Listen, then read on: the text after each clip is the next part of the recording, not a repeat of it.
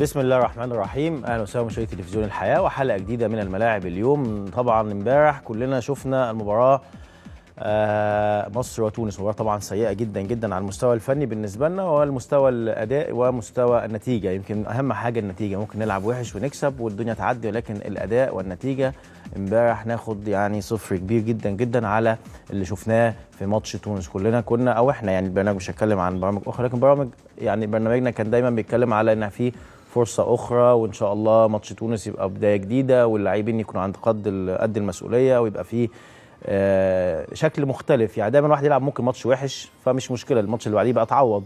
خصوصا بتلعب في ملعبك معاك جمهورك بقالك كتير قوي ما بتلعبش بجمهور ودي أول مباراة يمكن مع كابتن شوقي غير بجمهور. ولكن طبعا شفنا امبارح أداء يعني أق... يعني ممكن لو قلنا حاجة عليه كويسة شوية نقول عليه أداء سيء. ده لو يعني إحنا بنلطف الأجواء شوية هو أداء سيء طبعا.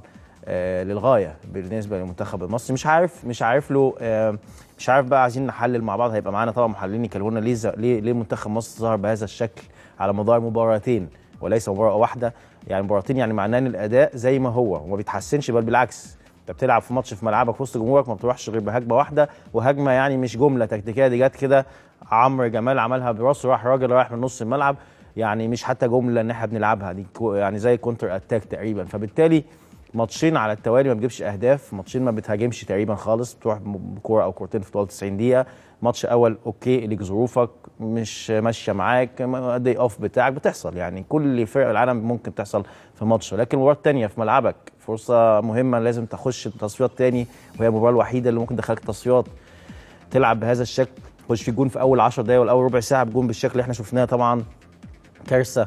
دفاعية بجميع يعني كنت بتكلم في الماتش السنغال مش عايز ألوم الدفاع لأن نص ملعب كان ضعيف. ولكن ده اللي شفناه في الماتش ده في الكوره في الكوره دي ويمكن الكوره اللي بعديها في الشوط الثاني اللي برضه ضيعها فخر الدين يوسف جت في العارضه نفس الكلام برضه الدفاع طبعا آه، واضح إن في سذاجة دفاعية كبيرة جدا. الجون اللي شفناه يعني مش عايز اقسو على اللعيبة لأن الواحد وهو لعيب برضه ما بيحبش حد يقعد يتكلم عليه كتير. بس هي المشكلة بص إحنا بنحلل. هنا ماشي طبعا مساحات واسعة جدا.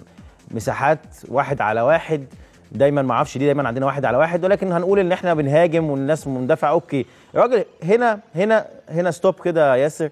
هنا الكوره الراجل عملها بكعبه. وجاي فخر الدين يوسف ده بسرعته. سريع جدا قوي جدا أسرع أكيد من أوكا. ماشي همشي في كل ده. مفيش مشكلة. أوكا مظلوم إن هو بص فجأة بقى واحد على واحد. ولكن يا جماعة في حاجة اسمها sense برضو. أنا فين؟ الراجل مشي الكورة جنب أوكا. أنت أوكا مش هتجيبه. no way إنك تجيبه. يعني اقف قدامه. مش هيديك طرد والله اقف قدامه هنا اقف قدامه. اقف الراجل خلاص التاني ده متهيألي طلع بره ال offside اعتقد يعني أنا مش مركز معاه قوي. بس أنا بتكلم على اللي جاب الجون ده اقف قدامه أيوه اقف كده. هيقع مش هيديك طرد. انت في واحد مغطيك اهو كمان. اقصى حاجة هيديك انذار. بس ما تخليش الفرقة تركب عليك من أول 10 دقايق والماتش يبتدي بقى ترد فعل. تبتدي ترد فعل. أنا بتكلم في كده. انت ممكن يبقى في أخطاء ولكن في لعيبة ممكن لوحدها تحل. اللي زي مبروبه خبرة الماتشات ذكائك في الملعب. لكن أوكا بص سيب بقى الكوره ياسر.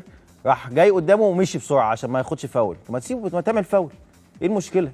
ما أنت مش ممكن هيطردك. أنت في ثلاثة حواليك. لكن يعني ده اللي بنتكلم فيه. حاجات الفردية السمات الفردية السمات الفردية اللي موجودة في اللعيبة برضو لازم تكون سمات قوية ولعيبة مهمة. لكن مع احترامي لأوكا لعيب كويس جدا. ولكن واضح إنه لسه ما جابش إنه يلعب بالشكل ده مع إنه لعب مثلا بطولة القارات لعب على إيطاليا ولعب كويس جدا. بس بص هنا اعمل فاول. ما تعمل فاول يا عم اوكا إيه المشكلة؟ إيه اللي هيحصل؟ مش ممكن هيديك طرد. مش ممكن لأن أنت في ملعبك وفي وسط جمهورك وأول 10 دقائق وحواليك اتنين ثلاثة هيدي لك إنذار. لكن ما تركبش الفرقة من أول دقيقة كده. طبعا أنا بقول لكم بقى طبعا في أخطاء طبعا في التمركز وفي كل حاجة. وهو اوكا خد اللقطة الأخيرة بس أنا بتكلم إن أنت ممكن لوحدك تحل. يعني مش لازم تستنى هتبص حواليك وتشاور للمدير الفني مفيش حد جنبي وازاي يجوا عليا بوشهم. ماشي أنا معاك. أنت مظلوم ان جايب وشك الراجل وأكيد هو دام جايب وشك هيبقى أسرع. جايب وشه يبقى أسرع. بس أنا قصدي كان ممكن يبقى ليها حل وحل أنت كان بسيط جدا إن هو جاي عليك. اقف قدامه. شفناها كتير ويمكن عملها هو نفسه أوكا في ماتش السنغال وما خدش عليها طرد. يعني نفس نفسه هو نفس اللاعب. بص هنا اقف قدامه يا ابني. ما إيه ليه؟ ليه بتبعد؟